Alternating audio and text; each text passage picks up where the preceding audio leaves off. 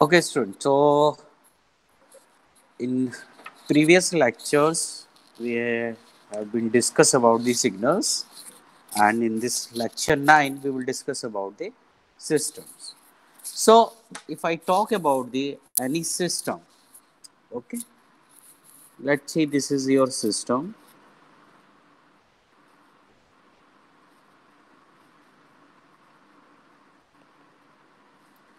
And obviously if i talk about in system there will be some input and there will be some output. Input and output. So most of the time uh, the gen generalized representation for input is xt if I talk about the time domain and yt and the response of the system is represented by ht सो इस system की calculation की हम बात करें तो there is always equation is y t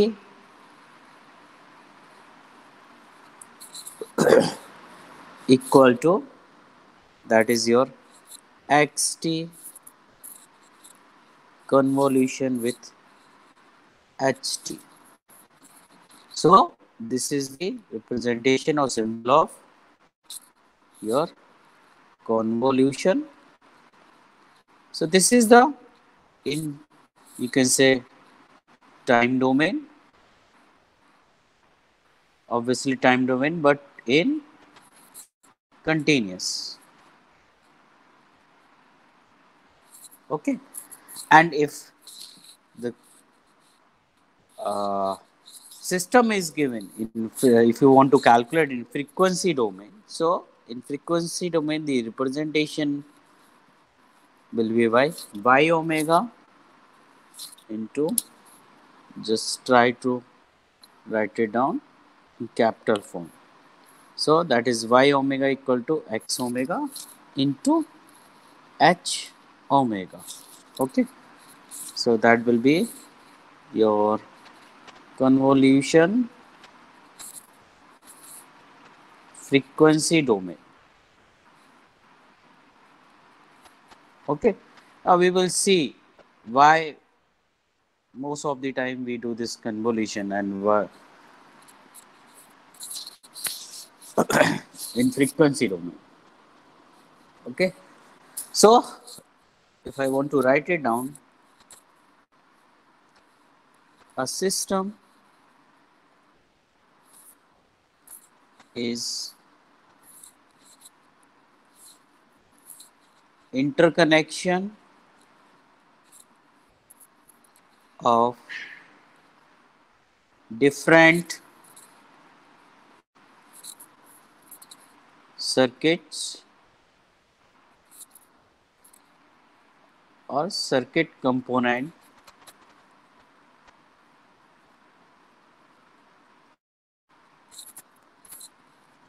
in a meaningful sense meaningful sense why i'm writing meaningful sense obviously आप उसी system को सिस्टम बोलोगे जिस पे आपको रिक्वायर्ड आउटपुट मिल रहा है। ऐसा नहीं कुछ भी आपने कंबाइन करके रख दिया और sir it's system okay but वो सिस्टम आपने डिज़ाइन किया उससे जब तक आपको मीनिंगफुल रिजल्ट्स नहीं मिलेंगे उस सिस्टम का कोई एग्जिस्टेंस नहीं। सो so, अगर सिस्टम की बात करें सो एज यू नो कि दो तरह की हम सिस्टम पढ़ने वाले हैं। But is first one is your continuous time system.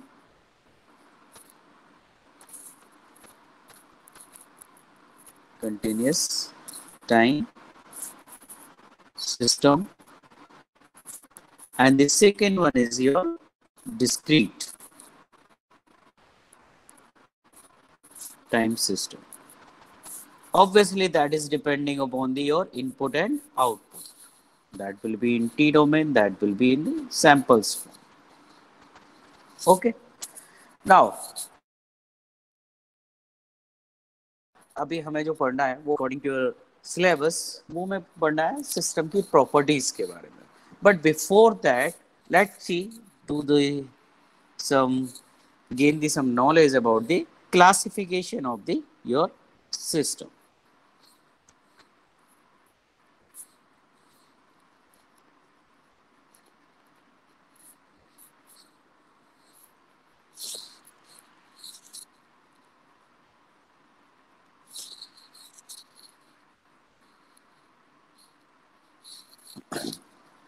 okay, so classification of system means system कितने तरह के होते केवल अभी हम इनके बारे में नाम लिख लेते हैं, फिर जैसे जैसे हम यूज़ करेंगे सेकेंड यूनिट में, वो सारे के बारे में हम पढ़ते जाएँगे।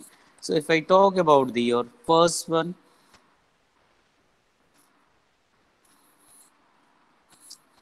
okay, so the first one is a linear और non linear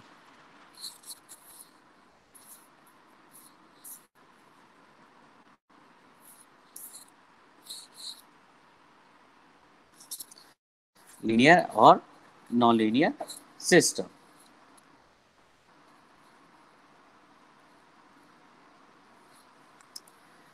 second one if I talk about the your time varying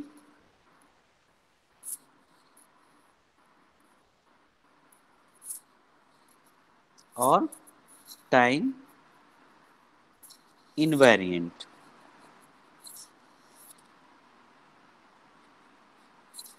system. Next one static.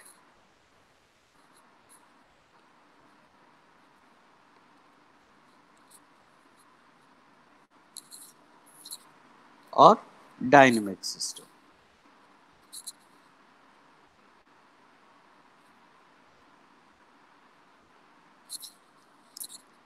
Next one is the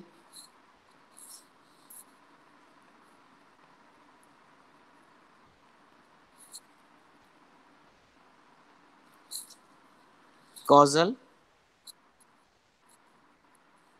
or or you can use the obviously if I talk about any system तो या तो वो causal होगा या non causal होगा so causal that's why I'm using causal you can use the causal and non causal system okay causal or non causal system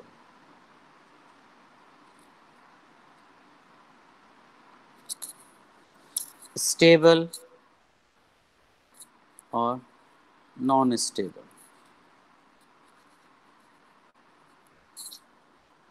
Okay, same deterministic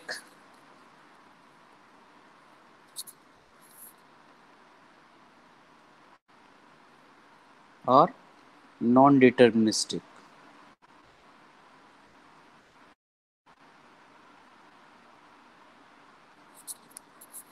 Okay lumped or distributed.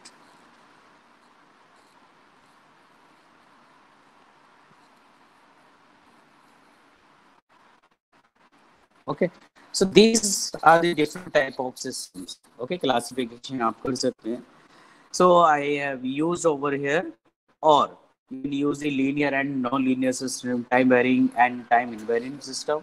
I use this और because of numerical जब problems आएगी तो उसमें यही आपसे पूछा जाएगा ये सिस्टम लीनियर है या लीनियर है स्टेबल है या स्टेबल है but but they can obviously you can write it down stable and non unstable system so this is a small introduction about the classification of the system okay but uh, we will see in second unit जैसे जैसे system आते रहेंगे now जो important है that is the first one as I written the topic name is prop, uh, property of system is linearity okay so we will discuss about this property or you can say you can use the linear or linear nonlinear system. How you are going to decide whether the signal is the system is linear and nonlinear.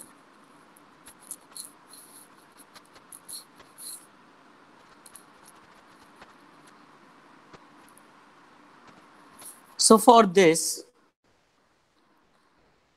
if I talk about the linear system, so a system is linear. Or if you want to write it down the proper definition you can write it down a system which obeys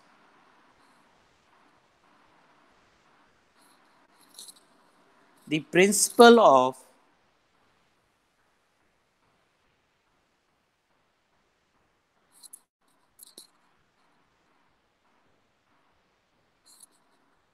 superposition.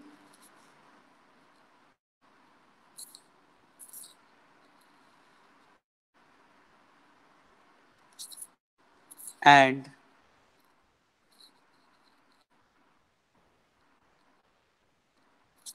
principle of homogeneity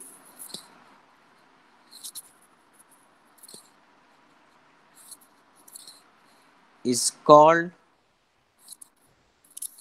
a linear system. And a system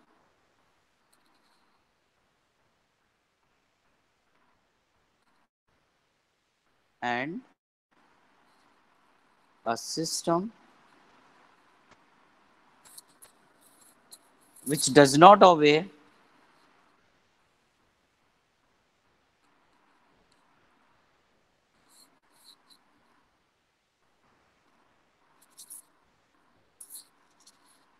the principle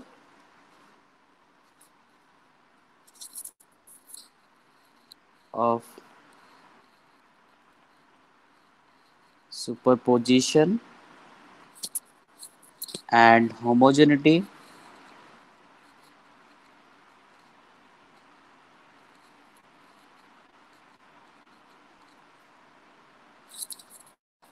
Is called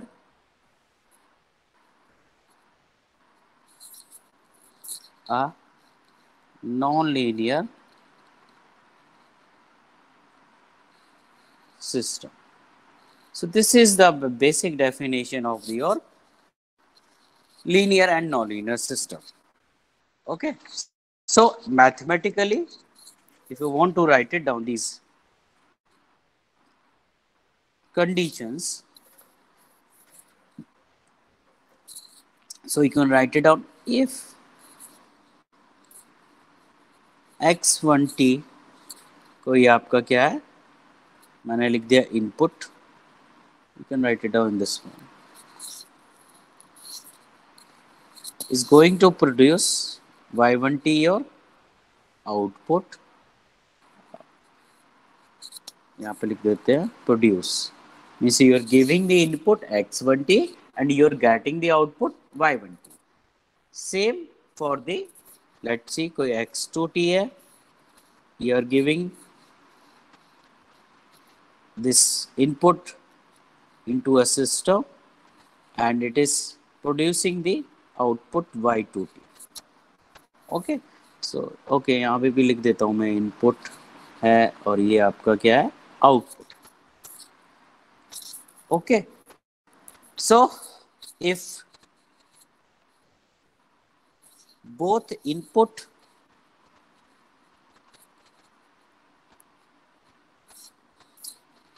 कौन कौन से input x one t and x two t are applied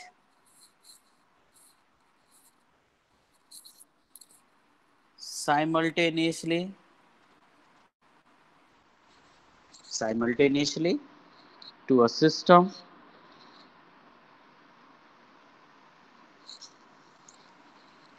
then your yt equal to y1t plus y2t so एक तो हमने condition मानी x one T apply कर रहे हैं वाई वन टी मिल रहा है एक्स टू टी अप्लाई कर रहे हैं वाई टू टू मिल रहा है।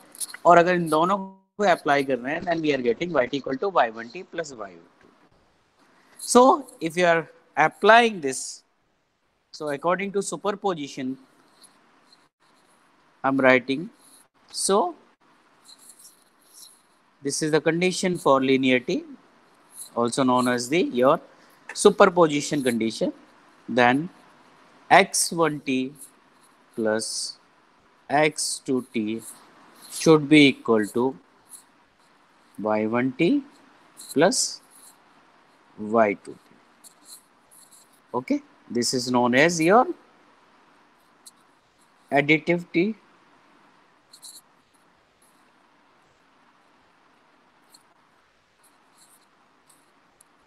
property of superposition.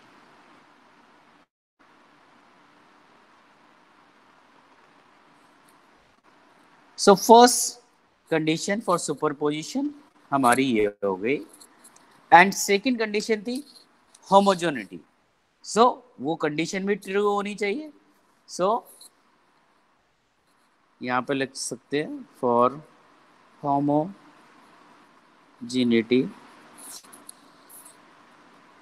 the equation will if you are applying with a1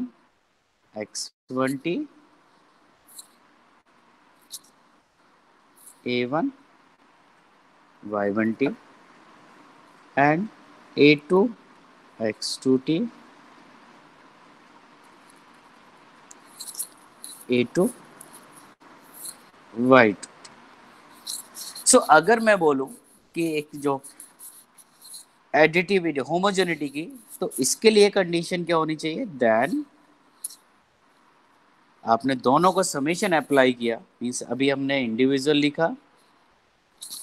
so so, अगर दोनों का एडिशन नहीं हो you are applying means a one x one t plus a two x two t तो इन दोनों का सम जो बराबर होना चाहिए वो दोनों के आउटपुट के बराबर होना चाहिए। A one y one t plus a two y two t same in case you can say कि अगर हम दोनों को यहाँ पे साथ में लेके ऐड कर रहे हैं तो दोनों के आउटपुट के प्लस के बराबर position and if you multiplying with factor over here a1 a2 okay, so that should be also equal to a1 by 1t plus a2 so अगर ओवरऑल लीनियर सिस्टम के लिए इक्वेशन क्या हो जाएगी?